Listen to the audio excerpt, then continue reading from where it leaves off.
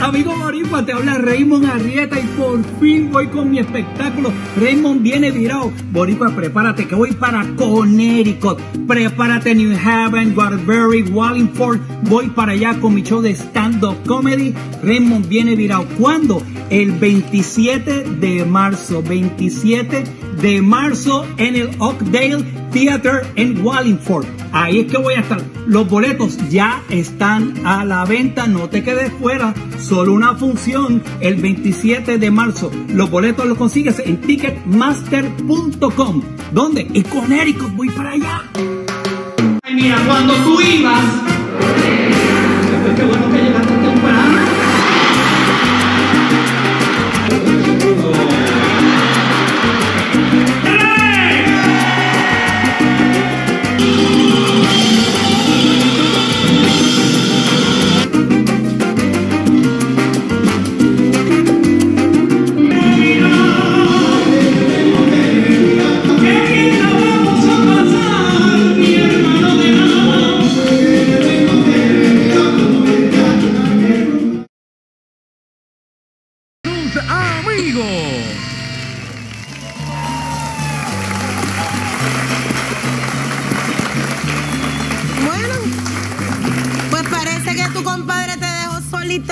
No, no, ¿qué va a hacer? Digo, si fuera Luli, mi, mi mujer, esa se olvida de mi existencia, muerte de la risa. Pero mi Pepe, mi Pepe no. Si él dijo que venía para acá, eso es seguro que él viene para acá. Ay, Dios mío. Te lo garantizo. Qué bueno que tú estás tan seguro. si tú lo sí. dices. Bueno, pero a mí me está consejo de pana que a ti te van a dejar vestida y alborotada. te van a dejar más plantado de lo que Jago recibió cuando le dio la mano a Trump, que él se hizo el loco y no se la dio. No me compares a mi Pepe con, con Trump, porque ese estará cayendo el pelo, pero no lo tiene chinita. ¿Ok? Y tampoco tiene cara de sapo concho como, como Trump. Ay, mira, no vas a pedir vuelta por Jago. Por supuesto que no, no, no hay necesidad.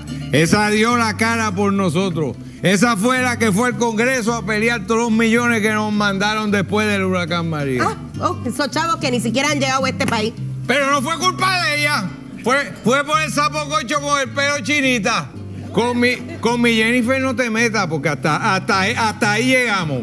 Ay, Dios mío, perdóname. Yo no quise ofender a tú, Jennifer. Yo lo único que dije fue que Trump la dejó plantar a sí mismo como Pepe te dejó a ti hoy. No, no, estás equivocada. Él va a venir, pero me dijo que iba a llegar un poco tarde. Porque tenía que ir a, a un, a un centro de estética a hacer su tratamiento. ¿Qué?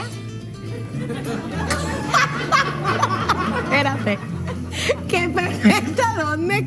Espérate, Pepe está en una estética. No me digas que Pepe se está haciendo un tratamiento de microdermabrasión. No, no, no, no, no, espérate, espérate, espérate, espérate, Paco. Pepe se está poniendo Botox. Porque si se está poniendo Botox, yo me voy a orinar encima ahora No, mismo. no, de relajo. No sé, no sé lo que se estaba haciendo. Pero, pero me dijo que le estaba pasando bastante mal. Tarde, pero seguro. Diablo, compadre, gracias por haber pensado en mí. Muchísimas gracias. Realmente esto me hacía falta. Mm. Pepe, con todo el respeto, Ay, Dios mío, me Querido hacía falta un. Yo no sé si tú te diste cuenta que en el, el sitio ese que fuiste, te- te arrancaron la cara de cuajo. Y te la dejaron en carne viva y te mandaron para tu casa, así. ¿Qué te pasó? Diablo, mano. La historia es bastante larga y, pa- y si quieren que se la cuente voy a tener que beber mucho más de lo que he bebido hasta ahora. No te preocupes que yo A me ver. encargo. Tu cuenta que yo, mira, soy todo oído, estoy loca por enterarme qué fue lo que te pasó de verdad. echábamos con rizo candela esta.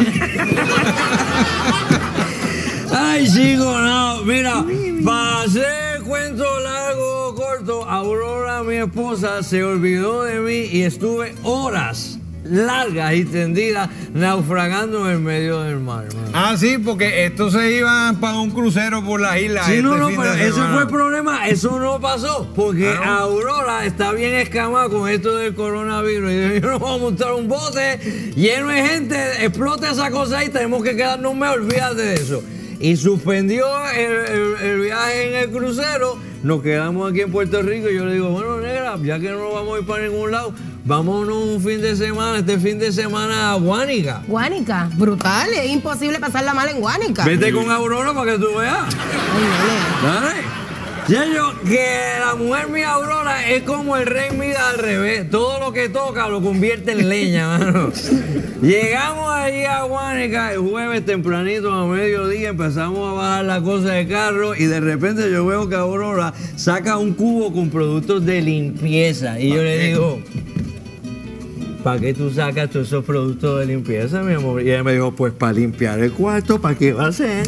Y yo le dije, pero es que tú sabes que los hoteles tienen gente que limpian los cuartos. Me dice, que yo no sé dónde han metido las manos, ni lo que han estado haciendo, y después van a dejar un party de gérmenes en nuestro cuarto donde vamos a dormir. Tres horas. Estuvimos limpiando el contrallado cuarto que ya estaba limpio.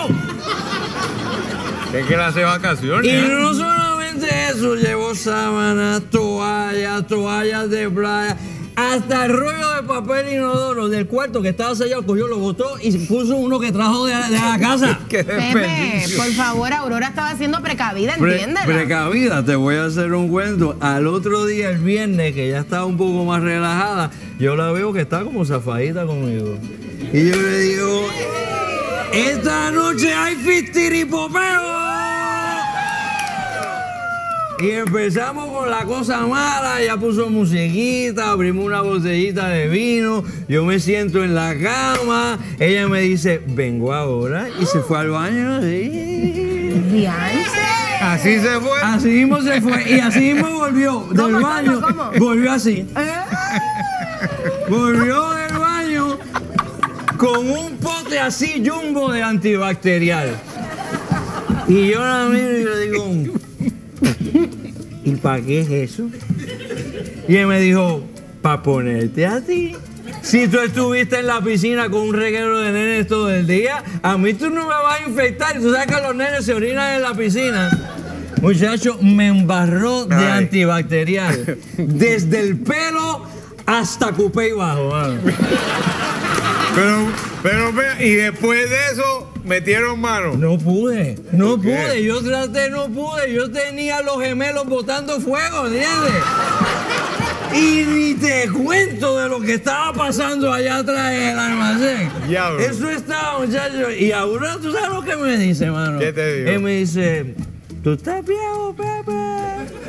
Eso no te está funcionando. Tú tienes problemas, problemas de disfunción eréctil. Me dijo, yo le dije, yo no tengo problema de eso. Yo lo que tengo es alcohol hasta la punta. Pepe, Ay, ay, ay. espérate, espérate, espérate. Ya, ya, ya, ya, ya, ya, ya, ya, ya te entendimos, ¿ok? Sí, no, no. Esto está bien fuerte. Que de si fue fuerte, muchachos. Hubo dos días pasaron antes de que yo me pudiera sentar. Cada vez que me sentaba me quejaba. Y tú sabes lo que me dice Aurora. Me dice, ay, no te quejes tanto, ¿cuál es tu queja? A ti no te encanta el alcohol, pues ahí tienen alcohol. Y yo le dije, sí, me gusta el alcohol, me gusta bebérmelo, no que me lo Ya, unten. ya, ya, ya, ya, ya, ya, ya, ya, ya, hombre. Oye, está bien. No, no, no siga, que ya me voy a ir a la tumba con esta imagen tuya botando fuego por el mofle. Pero mira, no, no, no nos has contado por qué está, estás así Exacto. Esa es quemado. la peor parte, es que por fin la convenzo de irnos al otro día a Gilligan. Ay, brutal, me encanta. Que Gilligan Ah, es lindo, precioso. ¿verdad? Pues ella decidió que iba a ir a Gilligan. Llevó guantes, mascarilla, goggles, antibacterial. Llegamos a Gilligan y estaba así preñado de gente. Yo digo, yo no voy para la orilla con toda esa gente. Y cogió unos flotadores que llevamos. Los tiramos al mar, yo me amarré a ella, ella se amarró en su flotador a una rama de un mangle, me obligó a ponerme la dichosa mascarilla para no infectarme. y yo me puse unos audífonos, cerré los ojos, me quedé dormido. Cuando abrí los ojos, yo estaba en el medio del mar.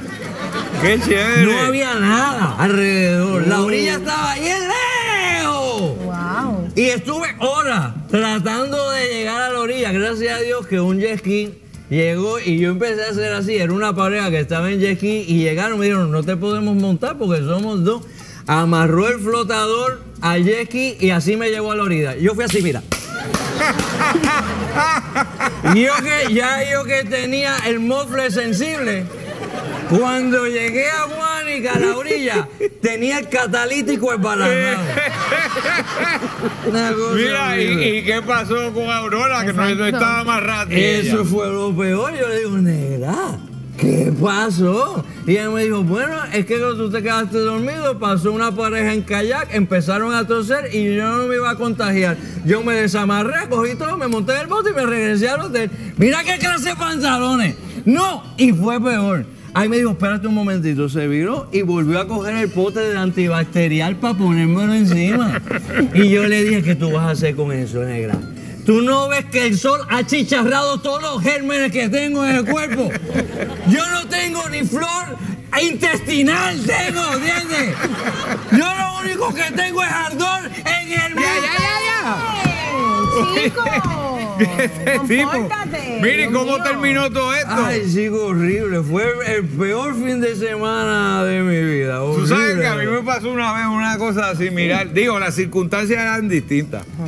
Resulta que mi mujer tiene una prima que vive en Seattle y, y la invitó a venir, ¿verdad? Con el marido para Puerto Rico y, y nos fuimos para un, pa' un hotel, los cuatro. Pero esta, esta prima de mi mujer es hippie, pero hippie de, de las de Pizza and Love y toda la cosa, de esa que se levanta y coge un café y un grullo de- de- así de grande, tamaño familiar. Y puede pasar todo el día con eso feliz. Mi mujer ni bebe ni, ni, ni fuma, pero come como si al otro día viniera el juicio final. Y el segundo día de estar allí en, en el hotel, viene la prima con unos brownies. Y viene mi gorda enmayada y se comió cuatro y no sabían que estaban premiados. Muchachos, cuando aquello explotó, brother. Cuando aquello explotó, ¡uh! las inhibiciones se fueron de vacaciones para Australia. La gorda empezó a correr por toda la piscina. Y vino a tirarse, a tirarse ¡bomba! Y cuando aquel cachalote cayó en la piscina, ha desplazado tanta agua, mano, que la barra de la piscina que estaba como a 15 pies se inundó completa. Tres nenes que estaban en la piscina terminaron encima una mesa, uno encima un hamburger y otro encima una palma. y yo la cogí y me la llevé para el cuarto. Y eso fue lo peor que pude hacer. Porque estaba salamera entonces, estaba suavecita. Y yo traté de escaparme, me agarró por una pata, me tiró en la cama, me brincó encima. Y ahí empezó, mano. Y al minuto y medio, tú oías los gritos, suave que me mata. Era la cama. que estaba espatillándose, hermano. Y de momento yo siento como, tú sabes, el ascensor ese de Disney que cae al vacío. Así mismo se fue la cama. ¡Bla! Del estruendo de salón completo el hotel. Anda, pues, sí, ese vago. Sí, mano. La verdad es que tú, yo creo que tú la pasaste peor que yo. Ahí, ahí. Fíjate, de oyendo tu historia, la mía no es tan mala. Pues mira, lo único que tengo que decir es por las vacaciones. Por las vacaciones. ¡Salud! Mire, ¿qué es lo que tú tienes ahí? Ay, Paco, no seas tan indiscreto, por favor. Que posiblemente son una crema anti-aging que le dieron en la estética. Diablo, tú eres tan chota, mano. Yo, ¿Tú no fuiste que le dijiste? yo no le dije nada. ¿Quién te lo dijo? Este, Tú eres tan chota, mana. Pues fíjate que no, a mí en la estética lo único que están haciendo es dándome un tratamiento de oxigenación para, para ¿verdad? contrarrestar la insolación. Esto que tengo aquí es ¿Qué? una cosa que me, me pidió que llevara Aurora porque está obsesionada con esto y se la acabó. Y, ¿Y qué fue que, ¿qué te mandó a comprar? enséñalo. ¿Qué? Yo no sé, pero parece que esta noche tu catalítico vuelve a coger fuego. papá. ¡Ay, sigo, vago, mano! Si no te has enterado, te tengo una noticia. Llegó el mes de la papa McCain y se formó el